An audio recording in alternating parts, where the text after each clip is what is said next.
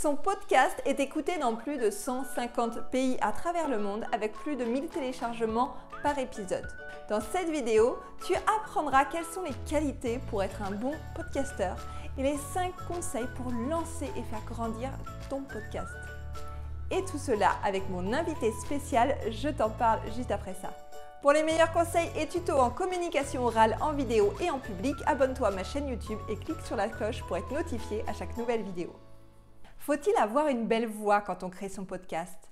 Faut-il savoir bien parler, bien s'exprimer? Qu'est-ce qu'il faut savoir techniquement? Et comment faire pour que notre podcast soit écouté? Quand on se lance dans un nouveau projet comme la création d'un podcast, on a toujours plein de questions. Et je suis donc ravie d'avoir Christina aujourd'hui qui va répondre à toutes ces questions. Christina est la créatrice du podcast Expat Heroes et de la formation en ligne Let's Podcast pour créer, lancer et faire grandir son propre podcast. Allez, je laisse la parole à Christina, c'est parti. Merci Aurélie pour cette intro. Je vais vous donner les 5 conseils que j'aurais aimé connaître avant de lancer mon podcast. On en déduira ensemble les qualités d'un bon podcasteur. Conseil numéro 1, avant de penser à la technique, il est essentiel de choisir un sujet intéressant. C'est la condition sine qua non pour que votre podcast soit écouté. Pour que vos auditeurs reviennent l'écouter, vous devez trouver un sujet qui les touche. Alors, comment faire? Eh bien, mettez-vous à la place de votre auditeur et apportez-lui ce qui lui manque. Quels sont ses besoins? Qu'est-ce que votre podcast lui apporte? Et je dirais même plus, quelle transformation cela génère en lui? Après avoir écouté votre podcast, est-ce que votre auditeur se sent plus cultivé, plus heureux ou même plus motivé?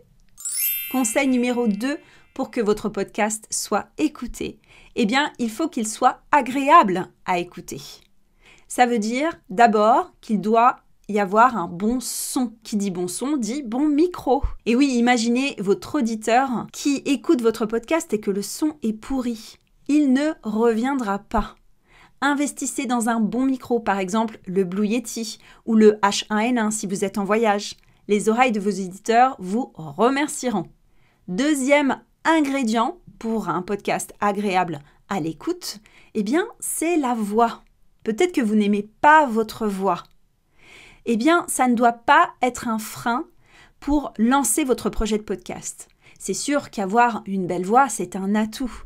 Mais ce qui compte et ce qui fera revenir vos auditeurs, c'est le contenu. Et c'est aussi ce que vous partagerez comme émotion et que vous susciterez comme émotion avec votre voix. La voix est un vecteur d'émotion, quelle qu'elle soit. Troisième ingrédient, pour que votre podcast soit agréable à écouter, c'est le débit de parole.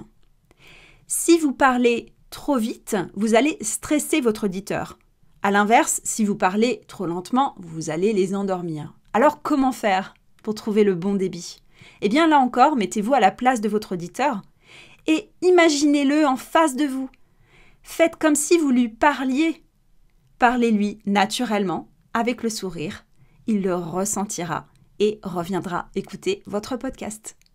Conseil numéro 3, pour que votre podcast soit écouté, transmettez de l'émotion. Le podcast, c'est le média de l'émotion. L'auditeur va projeter dans son écoute son imaginaire. Il faut que vous fassiez attention à la tonalité de votre voix et à votre débit de parole. On en a parlé. La voix est un vecteur d'émotion. Ensuite, n'hésitez pas à utiliser des images quand vous vous exprimez. Par exemple, je pourrais dire Notre invité nous ouvre les portes du monde de la télé.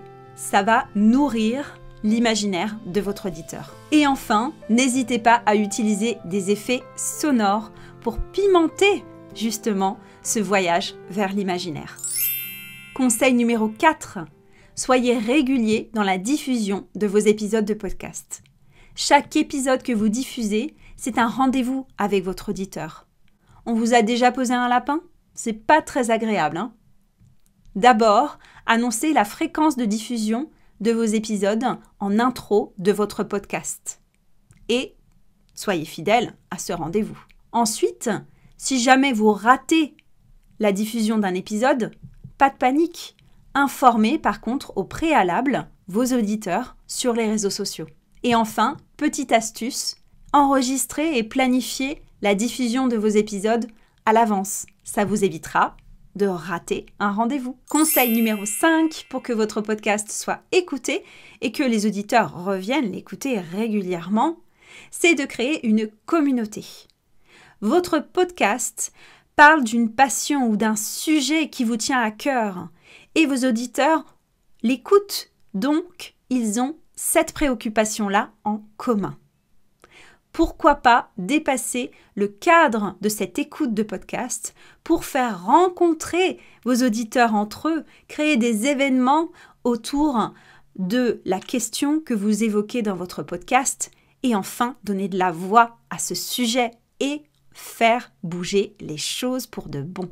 Deuxième raison de créer une communauté, c'est de faire évoluer votre podcast, améliorer son contenu. Il est possible que vos auditeurs aient d'autres besoins. Il faut tout simplement leur poser la question, soit dans le podcast en conclusion, soit sur les réseaux sociaux. Enfin, créer une communauté, ça peut être aussi un moyen pour financer votre podcast. Vous pouvez solliciter les auditeurs pour vous aider à payer les frais d'hébergement. Pour cela, vous pourriez ouvrir un compte sur euh, une plateforme de crowdfunding comme Tipeee ou Patreon. En conclusion, c'est quoi un bon podcasteur?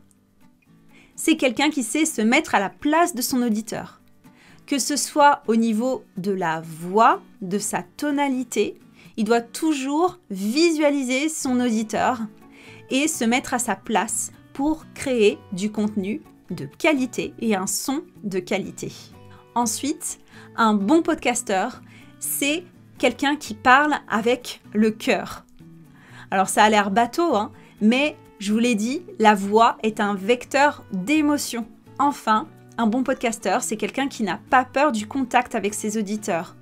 Les auditeurs ont en commun le podcast, ont même en commun le sujet du podcast. Donc c'est une vraie communauté. Le podcast permet de donner de la voix à un sujet et la communauté va permettre de changer les choses par rapport à cette question et à ce sujet. Je redonne la parole à Aurélie. Un grand merci à Christina. Si ces conseils t'ont donné envie de créer, de lancer ton podcast, mets-moi un let's podcast en commentaire. Et n'oublie pas de liker, de partager, de commenter si tu as aimé cette vidéo. Et bien sûr, abonne-toi à ma chaîne si ça n'est pas encore fait. À très bientôt